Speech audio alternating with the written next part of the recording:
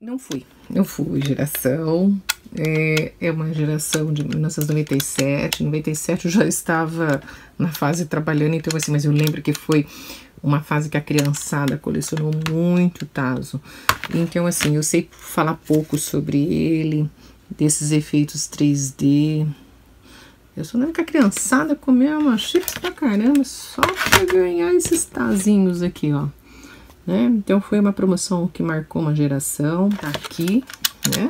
Ó, vamos ver se ainda tá funcionando. Não sei, vamos ver. Não tá funcionando mais o gatilho, né? Mas quem quer recordar que você coloca os cartuchos, ó, ó né? Ó, os tazos. Hum. Não consigo nem tirar. Aí. Hum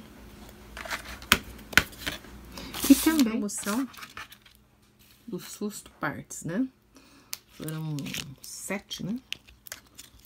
Sete modelos diferentes. Olho, nariz, orelha, dedo, dedo do pé, cérebro e língua. Não sei se vocês lembram. É bem nojentinho, uh, gosdentinho. Um pedacinho do cérebro. A orelha, a orelha ficou muito legal. Ela é molenga. Nossa, dá uma gastura de pegar isso. Então, esse aqui é o dedo. E o cérebro já mostrei, outro pedaço do cérebro. São brinquedos que marcaram uma geração, né? Então vale, tá pena, vale a pena a gente guardar no acervo para estar tá compartilhando com todos vocês. Um grande abraço da Ana.